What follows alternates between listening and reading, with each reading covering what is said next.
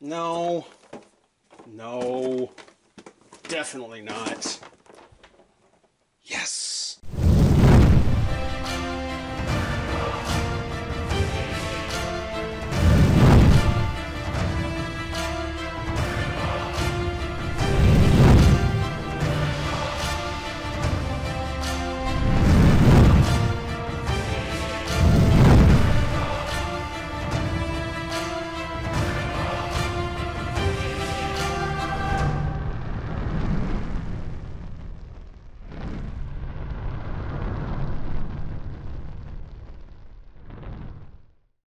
Hey, hey, friends of revolutionaries!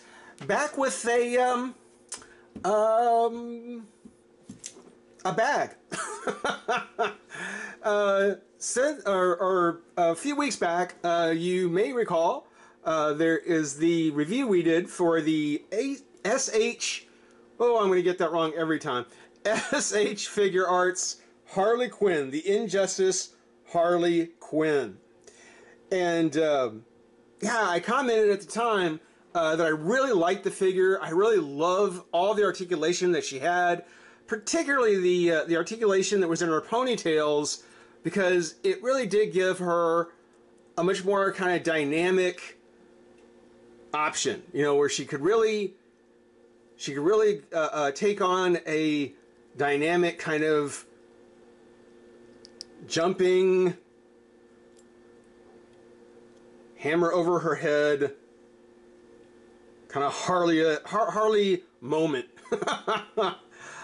but um, but because the figure doesn't come with a flight stand with a base, a flight base or, or anything else, yeah, it looked cool. It would be great to have her on the shelf like this, but I, I didn't have any way of doing it. There was no way of being able to pose her like this, even though I think this is probably the best way you could probably have your Harley on display. So since that video, I did some hunting, I did some searching, I did some poking around, and uh, and I'll uh, I'll put a link in the description below. But I finally settled on um, a set of ten action figure bases that I found from Amazon. Um, I don't think I don't well, they kind of they kind of have a name. Uh, where is it? Here we go. We, Weeboo? Weibo? Weibo.com? Weibo colon Weibo.com, I guess? I, I don't know. I, I, I can only do my I can only do my best. I can only try. But um, but yeah, these are uh, there are 10 flight bases or 10 action figure stands, 10 pieces for 1 and 144 toy toy clear. Clear clear bases for for uh, action figures that are 1 to 144 scale, I'm guessing. Made in China. In case the instructions didn't kind of give that away. but, um, but yeah, I, I was looking for something that was, I wanted to get, you know, a, a, a good number of them because there was a lot of figures I, I figured I'd use it for. I didn't want to spend a whole lot, but I wanted something that, seemed to be fairly decent. And turns out that you get 10 of these for about 20 bucks. So for the price of one figure, you're getting 10 bases. I thought that was a pretty fair deal. I thought it was a pretty fair, deal and figure, you know what? Let's give it a shot. And so far, I've been pretty happy with them. I've, I've really enjoyed them. And uh, I'm probably going to use them a lot more with some of the other reviews that are going to be coming up. But I figure I'd share, I figure I'd share it with you first. Because, um, you know, if you've got figures like me, if you're a collector and you've just got them maybe, you know, standing together and you really want to be able to do something different with them, you want to kind of maybe, well, you know, really show off the figure a little bit more, then these are, I, I, I, they're highly recommended. we'll say that. They're definitely recommended. Um, in the bag, you get 10 individually packaged bases. Come like this. Uh, each of the uh, each of the bases comes with its own little Ziploc baggie with uh, screws and nuts, screws and bolts, and it comes with a little acrylic screwdriver. So all the tools you need to put the base together. uh, on the reviews that I was reading, they were saying that it was like difficult assembly instructions. I have to say these are pretty straightforward. I, I don't see these being difficult at all. These are pretty easy. But we'll go ahead and we'll put one together and, and see, you know, how it turns out. Um, I've already put a few, I'll be honest, I've already put a few together, and uh, only one of them have had a problem with, and I'll talk about it uh, when I get to it, but yeah, yeah, for, for, for about 20 bucks for, well, $18 plus tax, you know, so, so about, yeah, about $2 altogether for, for a piece. I don't, I don't think there's, I don't think you can do too far wrong. These are really, really good. So, uh, so you take it out of its little baggie. And first off, you see it comes on the, or it comes with a rectangle base. Got the three holes on it, so you can do it horizontal or vertical. And then on the sprue, you've got two armatures and then the joints with the gripping clip. And again, it's these are not these are not difficult at all. Uh, if you now you could you could just go ahead and kind of twist them off and and you know break and and uh, and take them apart. There's absolutely no I, I've had no problems doing that. I did it with one set, and other than the the little flange that, that's on there might be a little sharp. I do use my flush cut snips that I use for my war game miniatures and just snip that right off so it's nice and clean and smooth. Let's do the next one. Well, we'll clear this off first.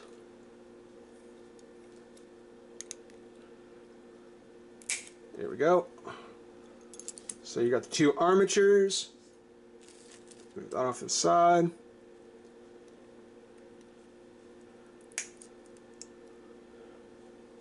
little clockwork key looking piece there. The knuckles, if you will.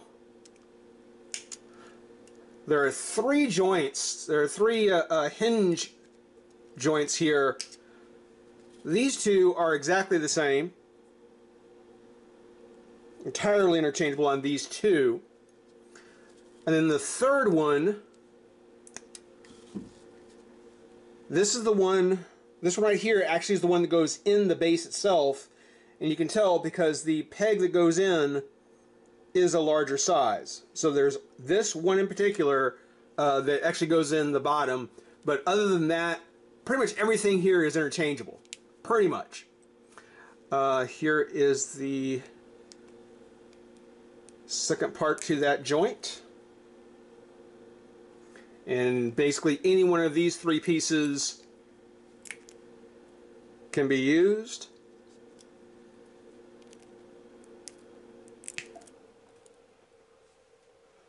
There we go. And then the actual little grabbing claw itself, the two, the two halves of the claw. There we go. There we go.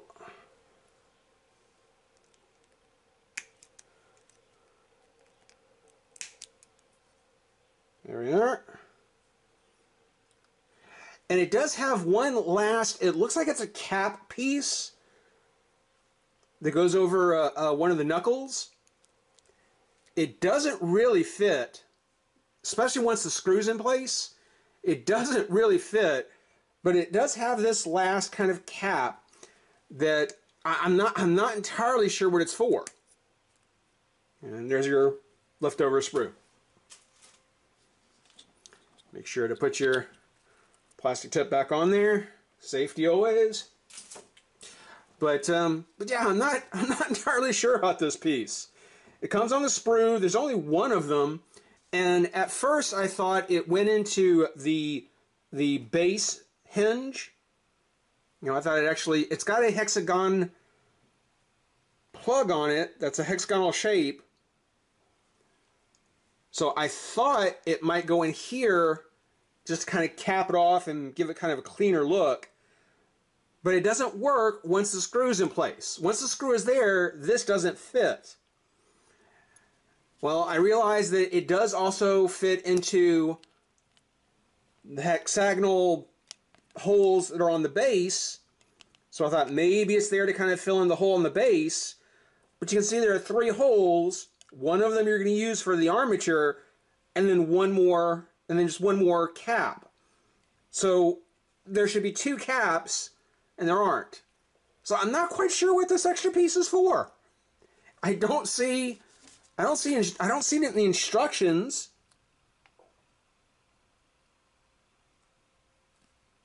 So I'm, I'm really not real clear about what this is for. It's one of the pieces that, that, that's on the sprue, so I, I, I remove it, but what it's for, I'm not sure.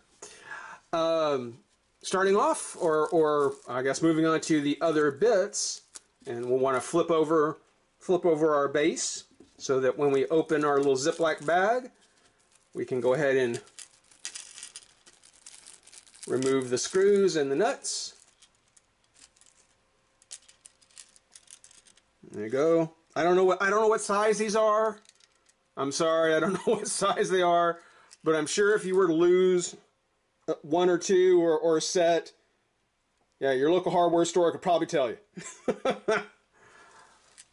but uh, what you want to do is you want to take the first knuckle, the one that goes in the base, and as I was saying, you can see here kind of see here that that there is a there's a hexagonal opening on one side and then it's round on the other. So once you drop this in, once you drop this in here, you'll have one side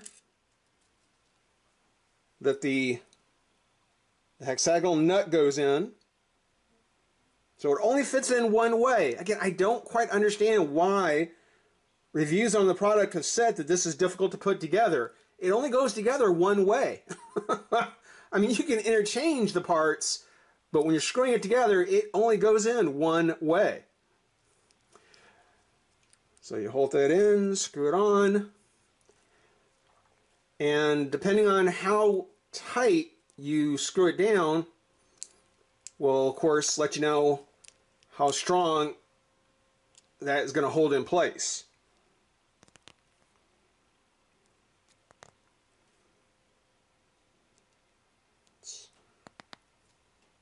So yeah, it's uh, it, it's it's pretty solid. It holds together pretty good. I guess don't do it too tight. You want to be able to adjust it as necessary. So we'll do the other two, and these are the smaller ones. And on these, you can see that the pins on either side are the same. Maybe a little bit longer on this one side, but the peg itself is the same.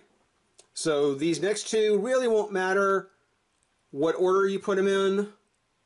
And again, same sort of thing I said before. There's a hexagonal hole on one side that the nut uh, drops into. Just like so, nice and snug. But it doesn't really matter which of these two go where on the arm. Or, you know, how the how the knuckle itself is, is assembled.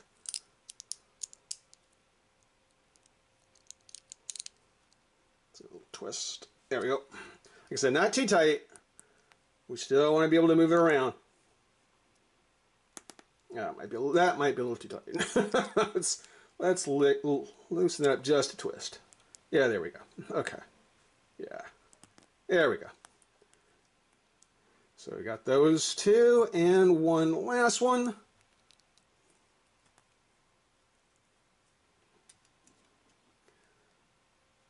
Drop in like so. And you can see, lays in there nice and flush. Other side is just a circular hole.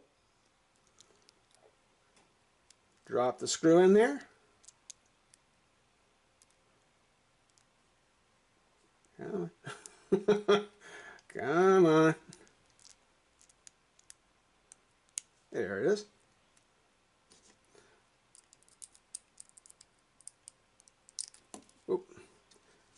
Up, up.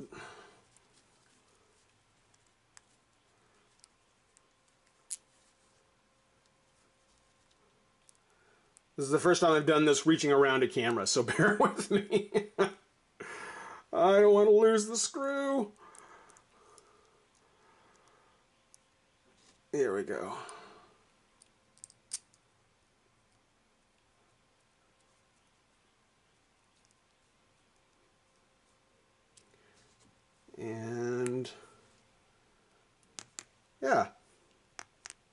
There we go.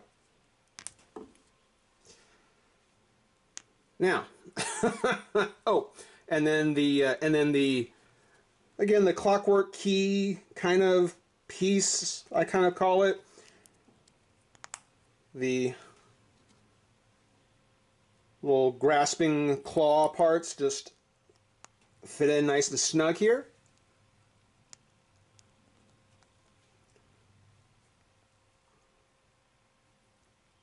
There we go. And the friction on it is pretty good. I mean, it, it, it holds in place and holds the figures really well. So, uh, now the assembly. Uh, for a lot of figures, or for a lot of folks, they may want to go ahead and do the horizontal kind of standard, kind of square, excuse me, square uh, uh style in this case, for how I've posed my figures, I do find that if you do it horizontal, this way,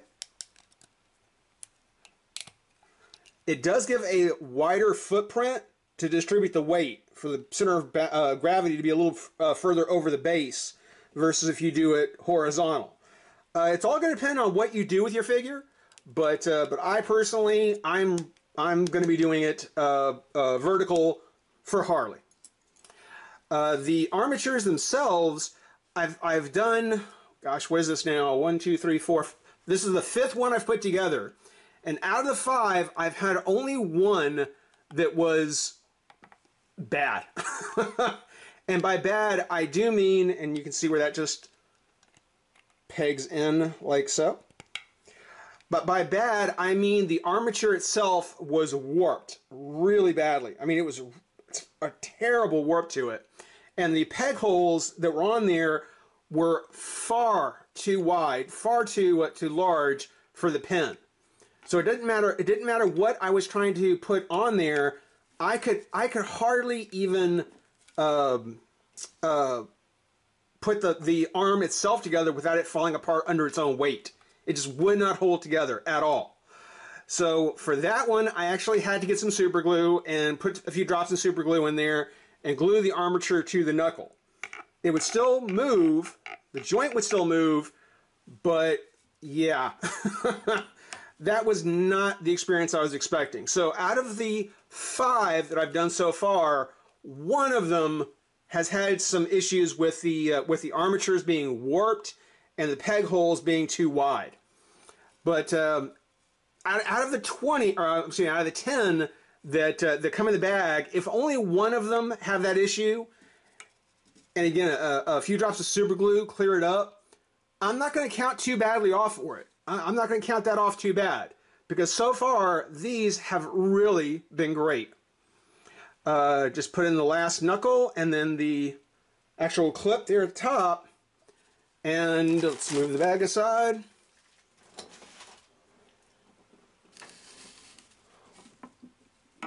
And there we go. We've got a really good flight base figure base. One thing I will not argue with uh, that the reviews on it have said is that um, no, this is not going to uh, hold your heavier figures. Um, it's something where uh, these really are made for your six inch SH Figuarts style figures. Your your uh, uh, uh, SH Figuarts, uh, your uh, uh, DC Universe, DC superheroes. Um, that style of figure, the six inch figure, I think is is what these are going to be best used for. I, I if you've got if you've got a if you're one of those guys, if you're if you're that guy who's got the uh, the Hot Toys 12 inch GI Joe Cobra Commander. I know who you are. Uh, it's going to be something where no, these are not going to be the these aren't going to be bases. They're going to be any good. They're they're not going to work for those. But for the six inch figures, if you're looking to to have to have something a little more energetic to do with them, here you go. That is this is exactly what you want. And again, that that put and this and what this does is this automatically takes Harley from a mid shelf figure with her just standing to a higher shelf figure where you can actually look up at the figure, see her coming down, and get the full effect of that pose. That is, it, it is, it totally changes the the you know what what you may be doing with the figure. Now, uh, now I did say that some folks may uh, may want to pose their figures kind of uh, horizontally. In this case, we've got Goku. Whoa. and that's that's that's going to happen. That'll happen. I don't expect to I don't expect to move these a whole lot. But here's Goku.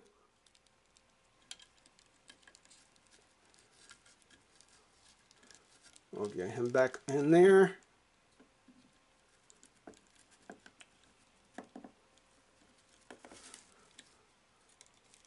Come on.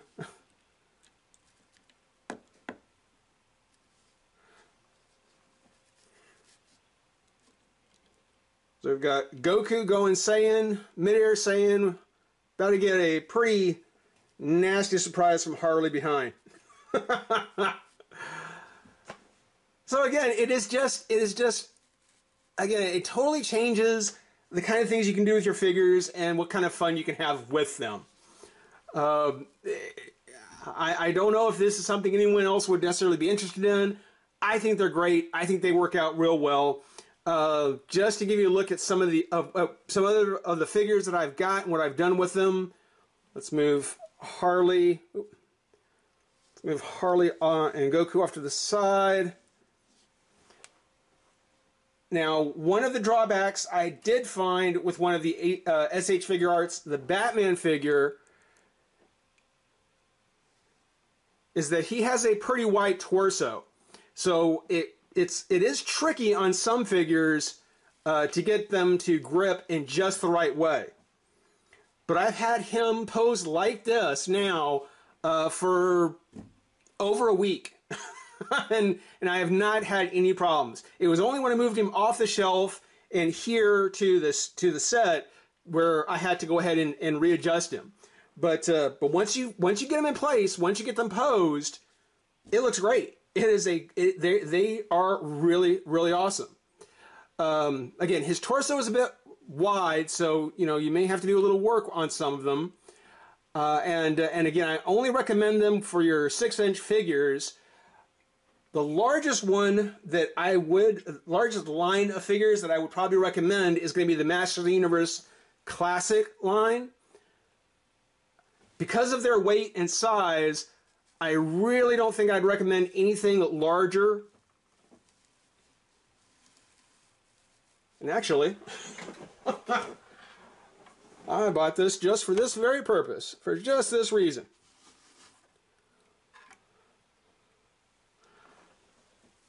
You know, so I don't really, uh, I don't really recommend it for anything larger than your Master of the Universe Classics figures.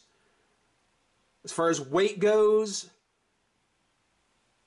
and size, I think these are probably the biggest that you're going to use these bases for.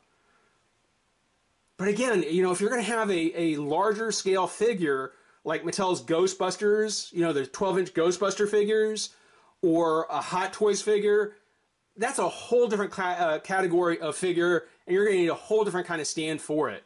This is strictly for your action figures, and and, and even then, it is just for someone who is wanting to do something a little more, you know, get a little more serious about, you know, how they keep them on display. Lastly, we'll move Stratos out of the way. And you know what? We'll, take Batman away out of the way too. I'll have to put him back anyway. But one last thing that I thought was very cool that you could do is because, again, the, there's multiple holes on there, you can do kind of the two figure thing there where you've got Green Lantern kind of with a mid-air combat with Sinestro. Or, you know, whatever whatever flying combat you want to have done.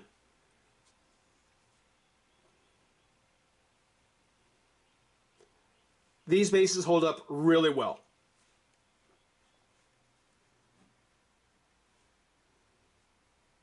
So again, you know, not not really taking a look at a figure today, but uh, but if you are a collector, and like I said, if you are looking for something to, to have a little more fun with on your bases, I'm sorry I didn't have any of my Marvel Legends out of their uh, out of their storage. Uh, I would I really think that if you had a Spider-Man, a Spider-Man figure would be great with this. A Deadpool figure would be great with this. Um, maybe a hovering Doctor Strange. Uh, I, I, can think of so many more Marvel figures that I think that this would really look good with. Um, again, I'm sorry I didn't have them out of the pack. We've got Marvel Legends coming up. We've got uh, we got what do we have? We've got uh, we've got um, Arnim Zola, the build a figure, uh, the uh, the Green Goblin build a figure, the Thanos build a figure. So we've got some Marvel Legends stuff coming up. I didn't have any of it available. It's all in storage at the moment. It's behind two other boxes. Uh, but um, but yeah, as we start to do some of those other reviews, I think it's cool that, that these bases, I've got these bases now to kind of show how much you can really get out of your figure. And uh, again, I'll put a link in the uh, description below. I'm probably going to pick out at least one more pack of 10. I think I can think of at least another 10 or 15 figures that I'll be doing stuff with. But I thought I'd take a look, at, or I thought I'd show this off, let you guys take a look. Hope you enjoy watching. Uh, rate, comment, subscribe, join the revolution. We'll see you soon. Bye bye.